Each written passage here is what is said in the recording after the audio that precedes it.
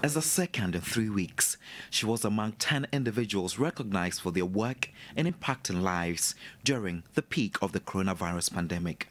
Portia told stories about the stigma individuals faced because they had tested positive for coronavirus and had to be quarantined at the Ga East Municipal Hospital. Frontline health workers were also giving prominence in the COVID-19 feature stories. This was at a time the country's key major cities had gone on a lockdown. Despite the imposition of localized restrictions, Portia Gabor broke boundaries to also tell the story about a family whose ward's education had been negatively impacted by the pandemic. A three-member adjudication committee of the MTN Heroes of Change recognized her work and adjourned her winner of the education category. Portia Gabor, you have used your voice and pen to influence society positively and brought smiles to the faces of many.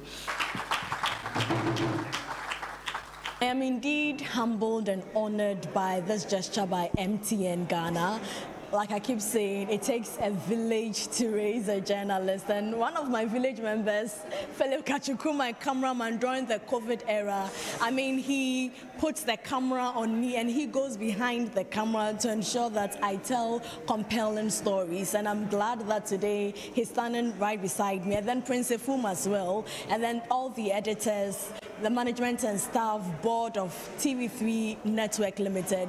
This goes to all of you. I am representing all of you, and this goes to Media General. It shows how we are committed to media excellence. But Portia's success story is not without challenges. Psychologically, um, going to cover it, you come back home and then the slight itch in your throat, you think you have COVID-19. So like, we, we had to go through, I remember Philip calling me, are you having these symptoms? And we all thought we had COVID-19. Luckily, we did not have COVID-19. And it goes on to show that um, not all superheroes do wear capes. I mean, to tell the stories of a cleaner doing everything to ensure that Ghana goes through COVID-19 successfully doctors, healthcare workers. I mean, I may be getting this award today, but the real heroes are the frontline heroes who are still working day and night to ensure that Ghana comes out of this pandemic. And it really tells you what truly matters at all is to um, support healthcare workers in the country to give off their best. For Portia, she's living a professional dream, which is to leave a positive impact on society.